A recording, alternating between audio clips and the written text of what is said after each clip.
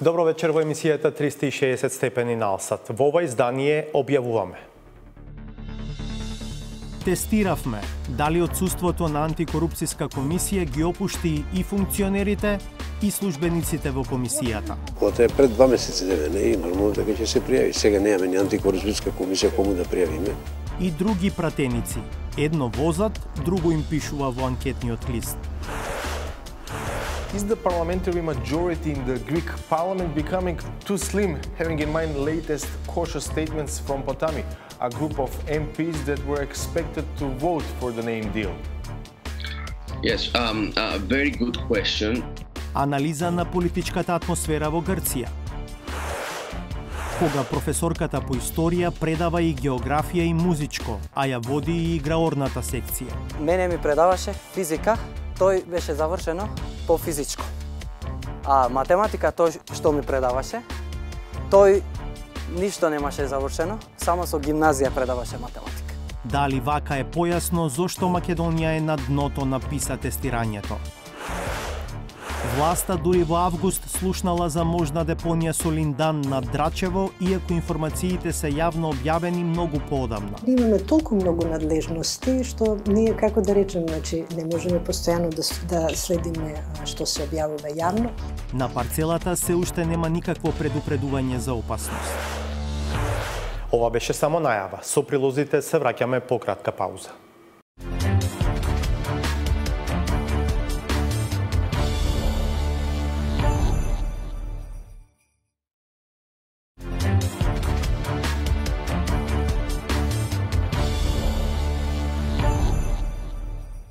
Македонија е меѓу последно рангираните во светот на најрелевантната меѓународна проверка на знаењето што го имаат 15 годишни ученици, така нареченото ПИСА тестирање.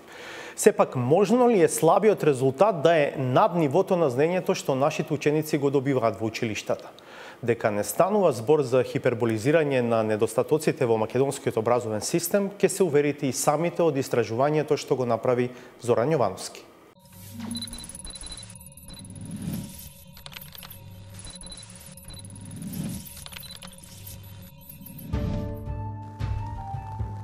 Центар Жупа е седиште на истоимената општина, сместена на крајниот запад на земјава, близу Дебар.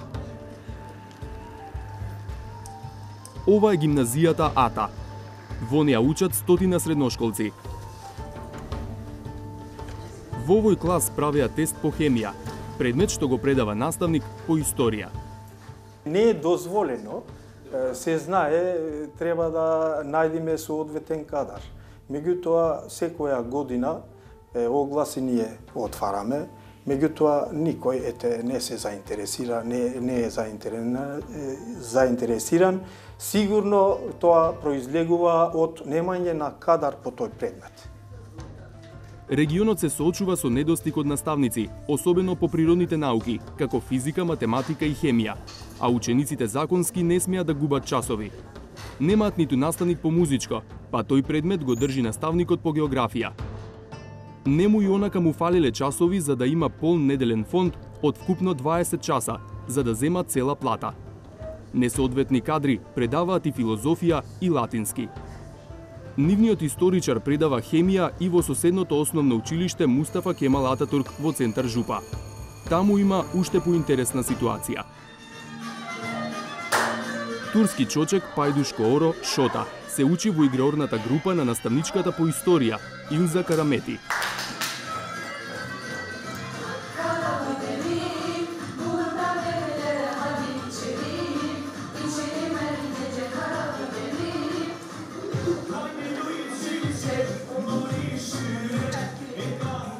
Но таа, иако со диплома по историја, предава и географија и музичко во паралелките на албански јазик.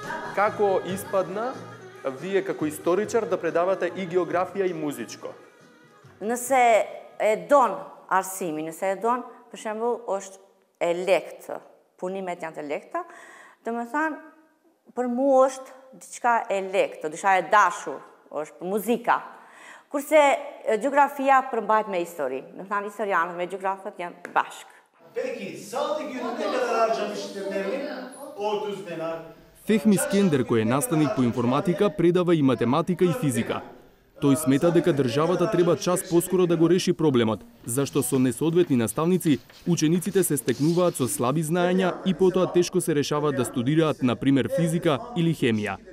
Нестручниот кадар нема да даде стручни резултати. Тоа е општо правило во образованието. Секој си ја работи она работа што најубаво може да ја работи. А секој еден може да има само една таква работа. Сепак она на дополнување од други наставници може би во моментот го решава проблемот. Во моментот го решава, но тој станува се подлабок проблем за следните генерации. Директорот на училиштето вели дека пред почетокот на секоја учебна година прават анализа за тоа со какви наставници располагаат, за некако да ги покријат сите предмети. Така успеваме до некаде да го решиме тој проблем, значи децата не остануваат без наставници. Децата мора да имаат наставници дали ние ќе земеме стручнак или нестручнак или соодветен, несоодветен, децата мора да има настав. Раскажува дека кај младите во Жупа одамна има еден тренд. Подобро зидер во Италија или Германија, отколку наставник во родниот крај. Најдобрите ученици кои што завршија тука си или завршиле за замина во Италија, замина во Германија. Значи замина во западните земји кај што родителите си отидоа и отидете. Ама сепак во тие земји кај што замина во Италија, децата стане само, да речам, работници, цидари, мајстори за ована. Никој не се образува. Редки се случаи што завршуваат во Италија, Германија, некој факултет. Десетина километри погоре од Жупа, во селото Новак, живее 22 годишниот Мукерим Асан. Тој решил да студира на Природно-математичкиот факултет во Скопје, наставна насока математика со физика. Така Центар Жупа ќе добие наставник по физика, а и тој ќе се обезбеди екзистенција. Кога јас учев овде во на ова основно училиште, мене ми предаваше физика, тој беше завршено по физичко. А математика тој што ми предаваше, тој ништо немаше завршено, само со гимназија предаваше математика. Затоа јас одлучив, решив и реков, ќе станам професор по математика и физика. Татко му го испраќа во Скопје, каде живее во студентски дом. По оваа приказна, сепак погрешен би бил впечатокот дека состојбата е ваква само во оддалечените рурални средини. Ова е основното училиште Кузман Јосифовски Питу во општина Киселавода, речи си во центарот на Скопје. Во него учениците неколку месеци беа без наставник по физика. Наставничката уште од почетокот на учебната година е на породилно отсуство. Од училиштето ја известиле општината и агенцијата за вработување, но замена не се нашла. Од Заводот за вработување на интервју ни посоучија две личности, меѓутоа и а, двата кандидата едноставно не сакаа да ја прифатат таа работа. Затоа што се работи само за замена? Затоа што се работи само за замена и се работи за недоволен фонд на часови. За ангажманот, заменскиот наставник би добивал околу 8000 денари месечно. На крајот, тоа го прифатила Вецка Мартинова, која, иако се уште е само абсолвентка, ги исполнува условите да биде наставничка по физика. Од тие колеги што дипломираа, што се многу мал број, на една рака се бројат, 80% од нив веќе се заминати во странство. На магистерски, еве, конкретно моментално се на магистерски, ама секој си гледа да, да избега. И се тие што сме овде, пример, што сакаме да да останеме, кој може да се снајде, сепак не би работел во просветителство, би отишол да работи на друго место кај што ќе има поголема плата дали во лабораторија, дали било каде, зависно од насоката на која се насочил, која се запишал на физика. Факултетот по физика важи за еден од потешките, па Мартинова раскажува дека незините колеги постојано се прашуваат дали маката некогаш ќе им се исплати. Ги има тие размислување. Зашо полесно да не добијам повеќе пари? И ете конкретно за информатика кој што кој што кажавте. Зашто да не земам 1000 евра плата и да си работам у канцеларија, туку да идам и да работам професор за многу помалку. Од финансиска гледна точка многу е тоа, да кажам, државата е неблагодарна кон нас просветителите, така да наречем. Мартинова има уште два испита на природно-математичкиот факултет. Таа му е колешка на Мукери Масан, кого предходно го сретнавме и снимивме во Центар Жупа. Мукерим се надева дека додека дипломира, местото во Жупа нема да му го пополнат со наставник од друг предмет. и сите одлучуваат да студираат на педагошки факултет. Полесно може да положат, полесно може да завршат факултетот. И во иднина ќе бидат математичари, физичари, емичари, тие. Неговата колешка Моника Пешевска, која паралелно студира астрономија и наставна физика, само привремено би работела како наставник. За неа покрај финансиите, демотивирачки се и други аспекти. Во средните училишта во Македонија сметам дека на наставниците име многу оттежнат процесот во пренесување на своето знаење на децата. Конкретно за физика, науката бара многу поголем дел од времето да се посвети на лабораториските вежби, каде што учениците ќе имаат вистински увид во вистински ќе осознаваат науката. Нивниот професор Александар Скепаровски неатрактивноста на просветата ја гледа во обштествениот статус што сега го имаат наставниците. Во отсуство на официјални домашни анализи, тој посочува на истражување на Европската комисија за причините за недостиг на наставници во европските земји. Анализите покажуваат дека најголем дел од интервјуираните наставници, како прва причина за изборот на професијата, ја наведуваат љубовта кон професијата дека финансискиот аспект е вториот. Дека сакаат да работат, сакаат да помогнат, сакаат да пренесат знаење и вредности на новите генерации. Но, како и секогаш, бидејќи станува збор за социолошки феномени, тоа не е баш така едноставно, а, дополнителните истражувања покажуваат пак дека дел од наставниците кои потоа одлучуваат да ја напуштат таа професија и да поминат во нешто друго, тоа го прават од финансиски причини. Професорот посочува дека и високите стипендии од Министерството за образование за студии по дефицитарните професии од 300 евра месечно не помогнале многу. Годинава на Институтот по физика дипломирале четворица студенти, а пред 4 години, кога дел од нив започнувале со студии, се запишале 25 мина. Во Агенцијата за вработување регистрирани се 17 невработени професори по хемија како активни баратели на работа, 8 по биологија и хемија и само тројца по физика на целата територија на државава.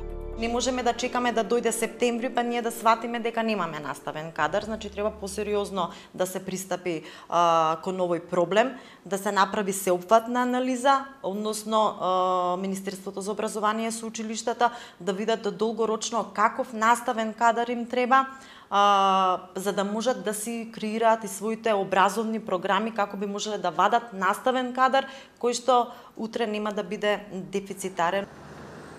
Во Министерството за образование знаат дека училиштата ангажираат несоодветни кадри за наставници затоа што некој мора да предава.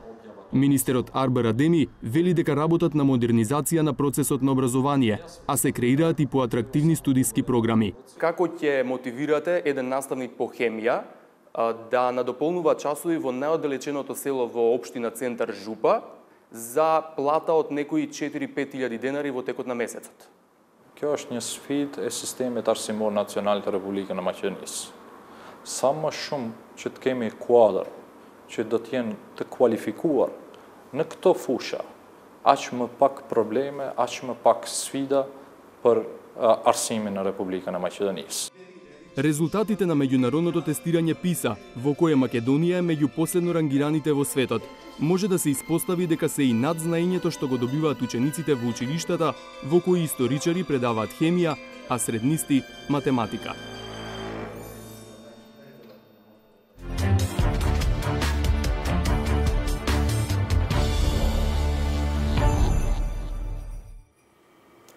На почетокот на март, власта најави брзо формирање на нова и сериозна антикорупцијска комисија, откако членовите на дотогашната поднесоа оставки поради сомнес за корупција. На неколку дена пред нова година се уште не е готов новиот закон, а не пак да е завршен изборот на нови борци против корупцијата. Во меѓувреме беа обелоденети повеќе корупцијски скандали за кои доколку постоеше антикорупцијска ќе требаше да се произнесе. Дали немањето функционална комисија ги доведе во прашање и редовните превентивни механизми, како оној за контрола на имотот на функционерите? Никола Здравковиќ и Петар Клинчарски ги зедоа како пример автомобилите на пратениците за да проверат дали колку се отчетни функционерите во овој период, но и дали колку е ажурна Државната комисија за спречување на корупцијата. Македонија веќе 9 месеци е без антикорупцијска комисија. Така ќе остане можеби до председателските избори, бидејќи се уште нема конечна верзија на новиот закон. Нас не треба комисија која што ќе биде избрана по највисоки критериуми. Гледате дека практично и овие препораки што ги добивме се однесуваат баш на процесот на селекција. Без пополнета комисија, телото не може да отвора предмети. Според експертската јавност, со пречки се остваруваат и редовните рутински надлежности, како следење на имотната состојба на функционерите. Излезе дека не се ажурни не се ажурирани податоците кои што лицата кои што се носители на јавни функции ги доставиле во комисијата. 360 степени провери дали одсуството на антикорупцијска комисија ги опушти и функционерите и техничките служби во Државната комисија за спречување на корупцијата. Пратениците се категорија на функционери кои се меѓу највидливите за јавноста. Автомобилот пак е имот што е тешко да се скрие од другите. Затоа паркингот околу собранието беше наш избор, три дена поред да следиме со што се возат пратениците, а со што напишале дека се возат во своите анкетни листови. Некои народни избраници ни поминаа под радарот, бидејќи не паркираат околу собранието. Но кај оние што ги оставаат возилата пред парламентот, откривме неколку разлики. Хари Локвенец, пратеник на СДСМ од Прилеп, дојде со нов пасат, а во анкетниот лист му пишува дека има стар Opel Kadett и Peugeot 106.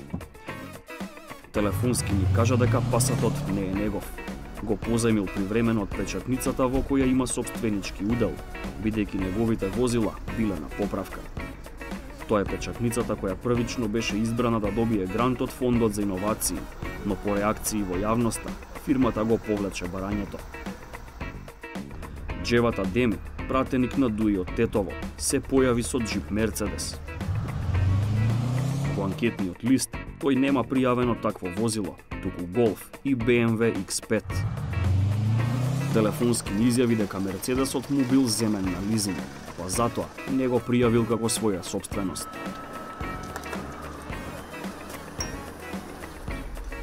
Со возило различно од пријавеното до антикорупцијска се појави пратеникот од владеачката партија за целосна еманципација на ромите, Самка Ибраимовски.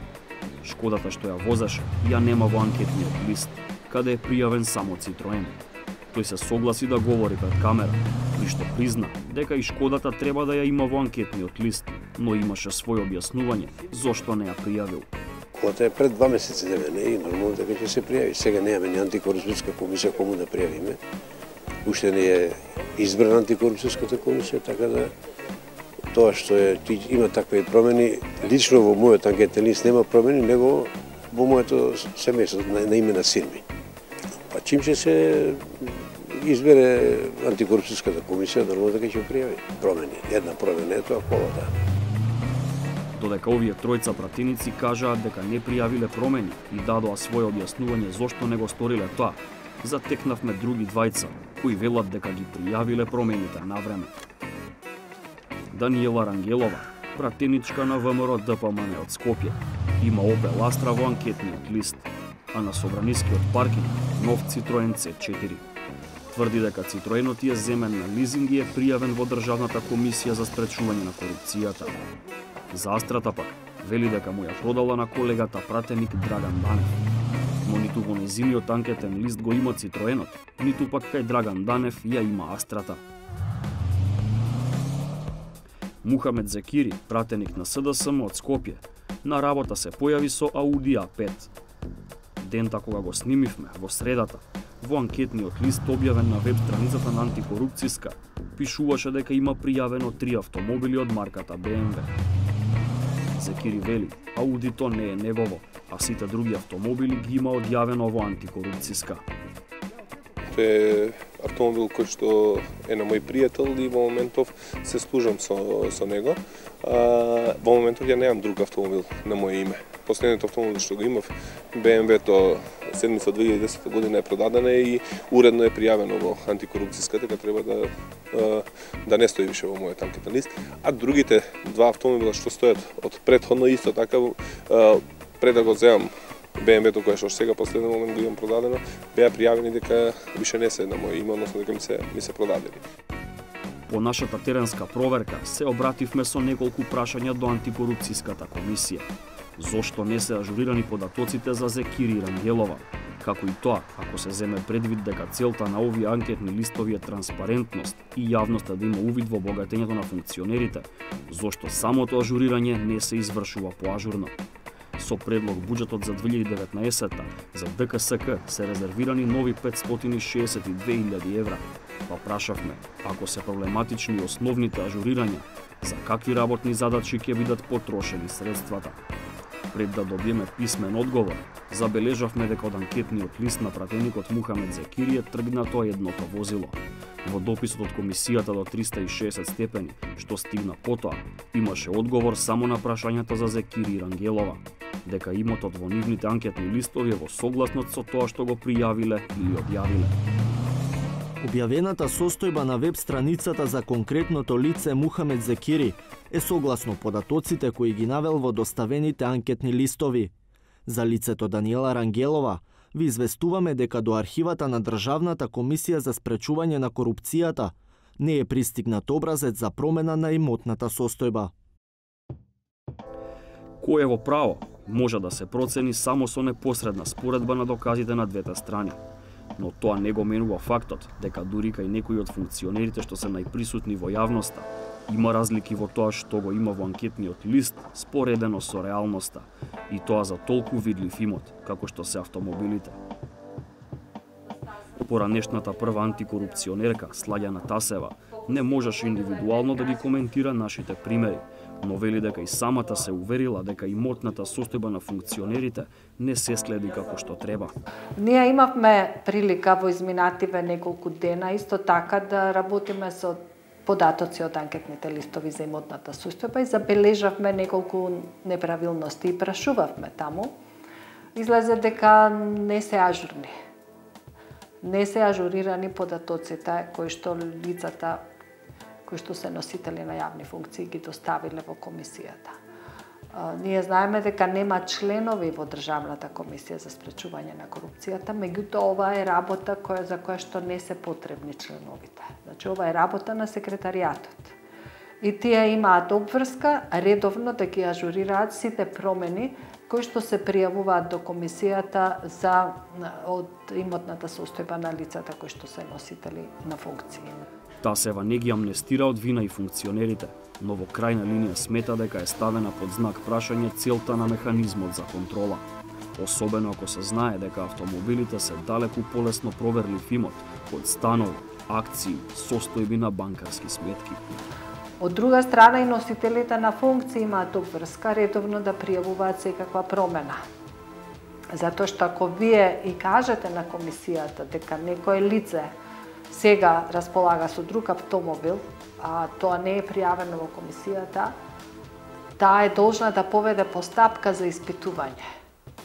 Затоа што секоја промена која што е повисока од определен износ на плати или вредност, мора веднаш да се пријави во комисијата. Ако не се пријави, тогаш лицето има проблем. И во таква ситуација треба да се поведе постапка за проверка на имотната состојба. Македонија остана без антикорупцијска комисија пред 9 месеци, кога ревизија на УЈП откри сомнеж за корупција меѓу самите членови на антикорупцијска. Власта и опозицијата не се договорија за нов состав, туку се тргна да се прави темелна реформа на законот, по која би се избрали новиот состав. Законот се уште не е готов, а со тоа не е блиску ниту изборот за нов состав на Државната комисија за спречување на корупцијата наводната намера за борба против корупцијата, за сега изразена единствено во зголемениот буџет на комисијата за 2019 за околу половина милион евра. Ако има кој, соодветно да ги потроши. Ако мислите дека ова е крајот на играње мачка и глушец меѓу пратениците комисијата и јавноста, слушнете го ова.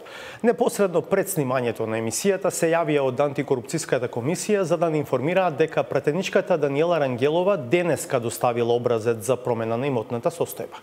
На нашето прашање дали образец доставил и пратеникот Драган Данев, кому Рангелова му ја продала својата Opel Astra, а такво возило не е регистрирано во анкетниот лист на Данев, на комисијата и беше потребно дополнително време за да провери, за подоцна да не информира дека и Данев доставил образец, без да кажат кога. Нашите дополнителни проверки пак открија дека од вчера до денеска има промена во анкетниот лист на пратеникот Джевата Деми – Таму стоеше дека тој поседува Golf и BMW X5, а од пред неколку часа Голфот е избришан.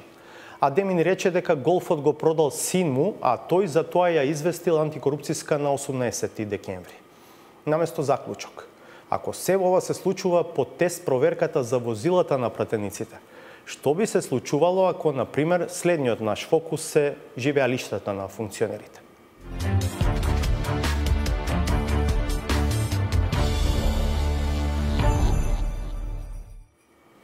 Ако процедурата за уставни измени заврши успешно во собранието во Скопје, што се чини реално, договорот од Преспа ќе стигне за ратификација во парламентот во Атина. Дали Алексис Ципрас го има потребното мнозинство за да го помине договорот, особено откако некои пратеници од кои се очекуваше дека ќе гласаат за, ја проблематизираа поддршката. Можно ли е договорот да го ратификува овој грчки парламент, а протоколот за влез на Република Северна Македонија во НАТО да остане за нов состав на парламентот во Атина, во кој мнозинството најверојатно би го имала сегашната опозицијска нова демократија. За атмосферата на грчката политичка сцена, Владимир Мирчевски разговара со Сотирис Сербос, професор на Универзитетот на Тракија, кој живее во Солун. Mr. Serbos, do the changes done in the constitutional amendments and the constitutional law, in particular the one explaining that nationality does not predetermine the ethnic origin of a citizen, have made it easier for the Tsipras government politically to defend the Prespa agreement in Greece? Well, the answer the answer is yes, and not only regarding um, um, the Tsipras government, but also regarding how um, the public debate is moving in Greece. Um, uh, unfortunately, the ones standing against um, uh, the agreement, uh, including political parties, uh, opinion makers, influencers, uh, have heavily invested on the on the false assumption uh, that the Prespa agreement is opening a window of opportunities and is actually also also discussing on the table issues about about national identity and about ethnicity and ethnic origins, which is what was in principle far away from the principle of the agreement, which is was of course about uh, nationality and citizenship, and, and that's it. Uh, so I think that uh, these clarifications coming from your parliament will further uh, clarify what was agreed uh, in PRESPA back in June, and of course provide uh, a solid political argument for the government to ratify the agreement. Is the parliamentary majority in the Greek parliament becoming too slim, having in mind latest cautious statements from Potami, a group of MPs that were expected to vote for the name deal? Yes, um, uh, very good question. Uh, regarding Potami's parliamentary group, uh, it's comprised of six MPs, including uh, the head of Potami, the leader Stavros Thodorakis. Four of them uh, with the inclusion of Stavros Thodorakis, are in principle in favor of the agreement and they will ratify it. However, the last few weeks, um, the leader of Potami and some of the MPs have clearly stated that they will have to wait and review uh, in detail uh, all the final constitutional amendments that will be ratified uh, from your parliament. So this relates to, to your first question. I think that it's another indication that with one way or another, these four MPs will be on board to ratify the agreement. However, we should also stress that there are increased political pressures, especially coming from the main opposition parties, towards these MPs uh, not to, uh, to ratify the agreement. And this trade-off also relates with a variety of scenarios after the general elections uh, in Greece and how far, you know, New Democracy and Potami could also cooperate. But I think that the latest uh, events that, that, that, that we have uh, from, from your parliament will uh, make it more difficult for these MPs to have a U-turn in their principal view and uh, not to vote in favor of, of the agreement. Can you explain how many votes are needed for the agreement to pass in the Greek parliament? 151 or less than that?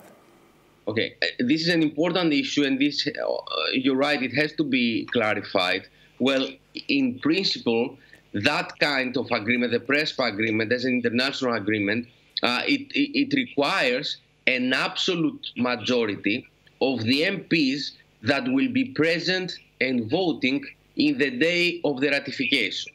That means practically that if, for example, 290 MPs show up that day, absolute majority uh, would require a number of 146.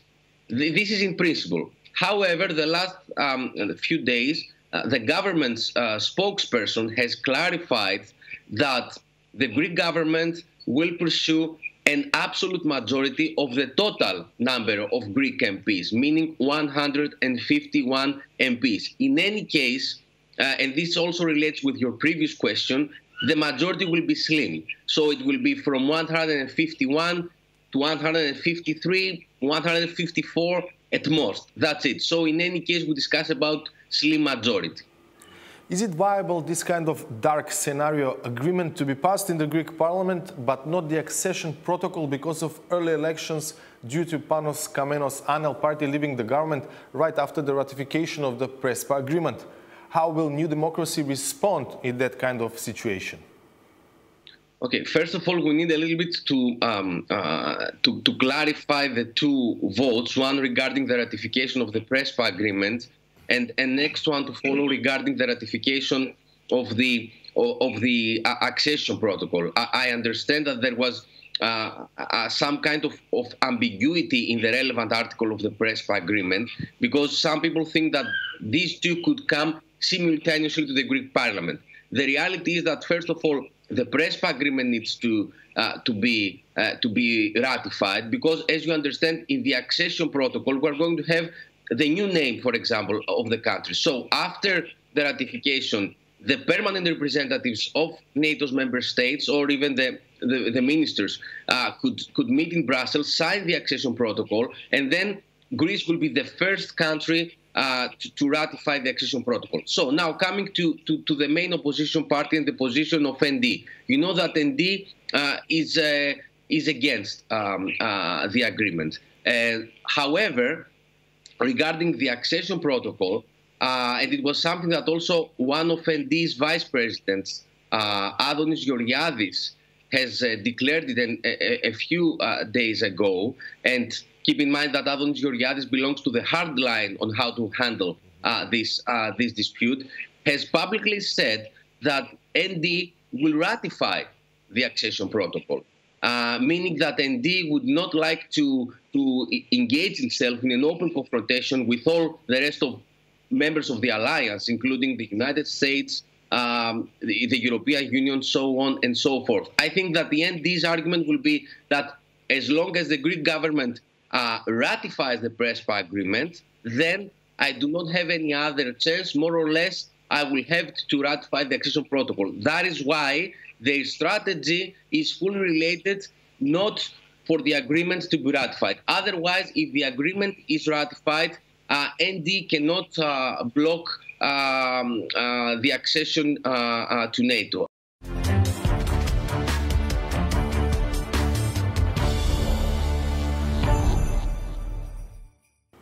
Власта најави конечно чистење на двете депонии со опасниот линдан во дворот на Охиз во Скопје и проверка по допрен глас за тоа дали дива депонија со линдан постои на уште едно место, на Драчево.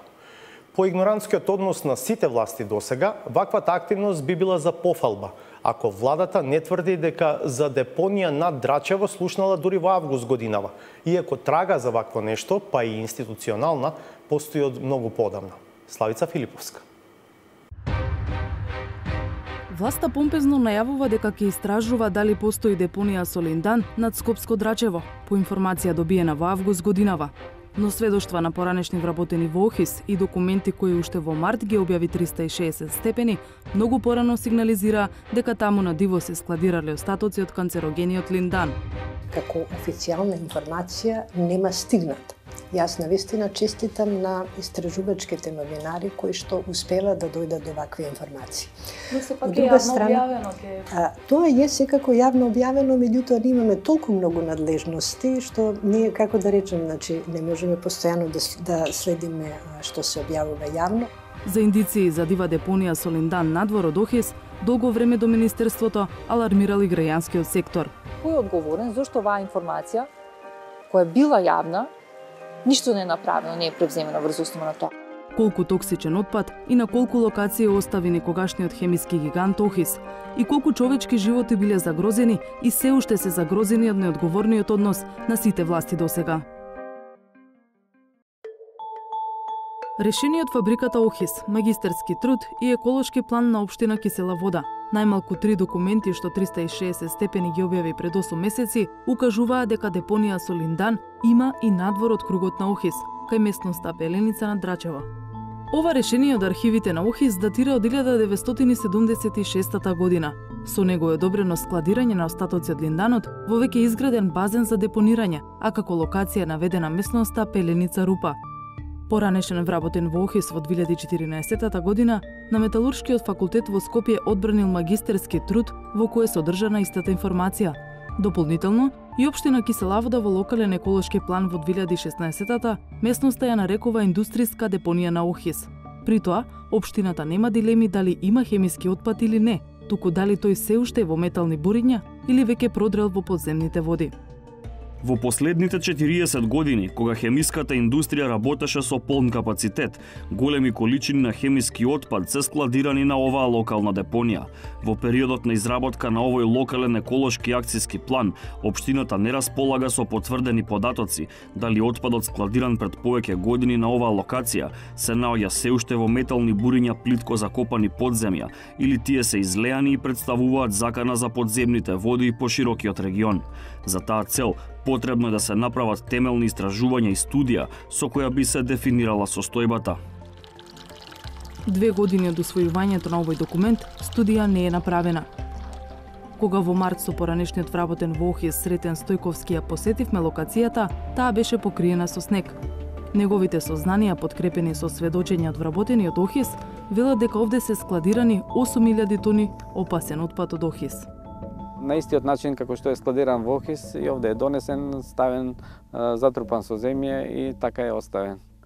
Нема од тој период нема мониторинг на локацијата што се случува, во каква состојба се борињата, дали се распаднати, какво е влијанието на на Линдонот врз подземните води, нема мониторинг направено. Во прилог на неговите тврдења, тогаш сведочеше и Абдул Вучел, локален жител кој не затече додека снимавме на Драчево. Сите знаат, ја идем у лов, јас сум ловче тука и се вртам редовно оде. Сите оде мештани знаат дека тука има фрлано од Охис. Посочената парцела е во собственост на Република Македонија. Осум месеци подоцна повторно ја посетивме. Освен што овој пат немаше снег, ништо друго не укажува дека овде нешто се истражува. Од Министерството за животна средина најавуваат дека до нова година овој простор ќе биде ограден, а потоа ќе се прават и анализи на почвата за да се утврди дали остатоци од линданот произведуван во Хис завршувале токму тука.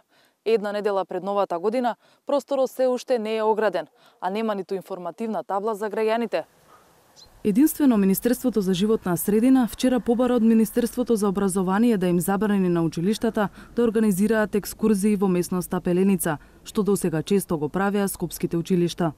Зошто се чекаше ве толку? Па и се уште ќе се чека бидејќи не, не, не, нема таман работа. Таман работа не смее да се чека. Значи владата во овој момент, не во овој момент, него ние сега направивме одредена наредба да се отпочне прво со оградување на локацијата и таа локација мора да се огради за да граѓаните знаат дека да бидат предупредени дека постои можност на таа локација да има а, одстрането линдан. И ќе има една табла со која што ќе бидат информирани дека таму би било добро во овој период додека не се потврди или не се отфрли можноста, а, значи да да не се задржуваат за среќа. дека имавте изјава до нова година.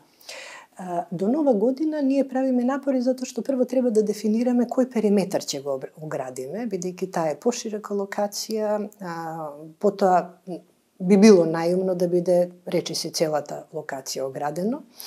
И ќе видиме, значи до нова година имаме уште една недела, ги затвараме буџетите, ние сме сепак државен орган кој што постапува согласно законот за јавни набавки, значи ние сме целосно мобилизирани, ги правиме сега спецификациите на оградата, колку треба да биде висока, колкав треба да биде периметерот, дали ќе биде правоаголна или ќе биде ќе го ќе треба ја следи морфологијата на теренот, да не ве заморувам со детали, таа ќе биде итно оградена. Она што се знае дека линданот како пестицид се користел во македонското земјоделство до 2009 кога е забранен за употреба. До сега јавноста знае дека во поголеми количини го има во двете депонии во кругот на Охис, кои се распаѓаат и веќе ја контаминираат околината. Владата неодамна најави дека од следната година започнува чистење на канцерогениот линдан од двете депонии во дворот на Охес. Само за малата депонија, проценките се дека процесот на деконтаминација ќе трае од 3 до 5 години. Сумите кои се калкулираат за ваков зафат се во милиони евра. Дел се обезбедени, дел се бараат преку фонд формиран во соработка со Кралството Норвешка, владата и Канцеларијата за услуги на проекти на Обединетите нации, УНОПС.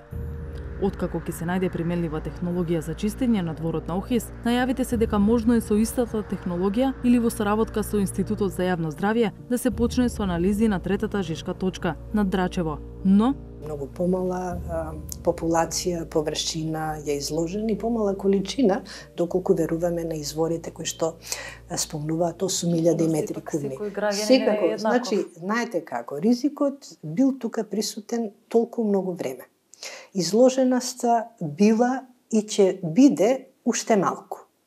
Значи, работиме и... И колку е тоа уште малку?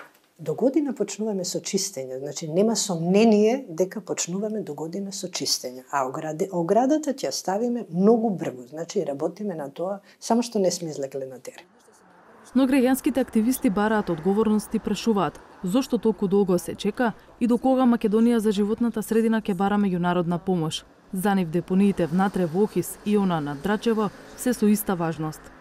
Се започна лизи да се види што има, колку има во почвата, во подземните води, до каде е тоа проширено во околината и во воздухот нормално. И според мене, а, нашето исто барање што ние константно потенцираме дека средства се потребни и дека буџетот не може да биде толку мал за решавање на проблемите на животна средина, особено кога се земаат такси поврзани со животна средина толку големи, значи не може ние да чекаме само меѓународната заедница да не ги решава овие проблеми. Добро, ако дала и колку ќе даде, меѓутоа мораме ние да почнеме сами да вложуваме. За опасноста на линданот, самата за себе зборува заштитната опрема што ја носеа представници на консултантска фирма, која во изминатиот период земаше примероци од почвата на депониите во дворот на Охис – но почвата, подземните води и земјоделските производи од ова поднебие, за разлика од истражувачите, се уште остануваат незаштитени.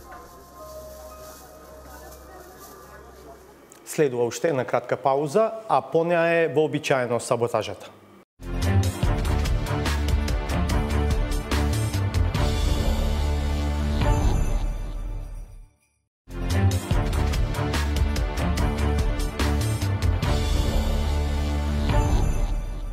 Ве поканувам да го погледнеме новото издание на Саботажата.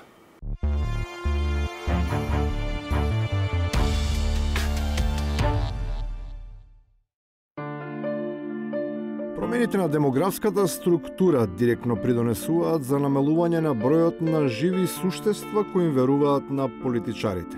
Дури и тие што се грижат, најавуваат дека во сите сфери се случува екзодус на кои тие лично му кумуваат. Разочарани, дека никој повеќе не ги шиша.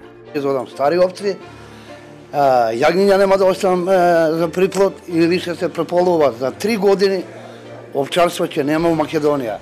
Штом за три години ќе нема веќе ниту што да се стрижи, тогаш оние што се подготвуваат за власт.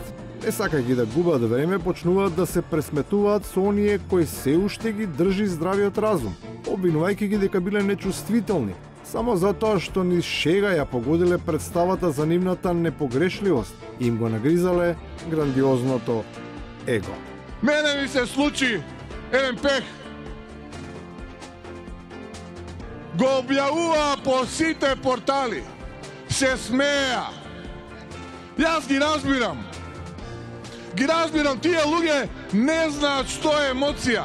Не знаат што е сентимент Недостигот на сентимент ќе мора уште еднаш да биде во фокусот на следниот говор, бидејќи неподготвениот говорник секогаш треба да биде подготвен да се соочува со своите недостатоци, особено кога без нималку сенс за хумор ќе се обиде недуховито да го оддува тоа што кружи како смешка за речникот на неговиот политички опонент. А потоа ќе ги оддува како киша око Крагоевца, што би рекол овој закукукулен, мумумулен политичар. Контекстот е малку подзаборавен, но вреди да се подсети кои се тие што ведрат и облачат на сцената и на што се се реферираат, особено кога само со поетска реторика се обидуваат да стекнат политичка надмоќ. Мора да имате ставови, господин Мицковски. Не може цело време кружите како киша околу Краговец. Ја не сум како киша околу Крагуевец, него сум како надојден вардар.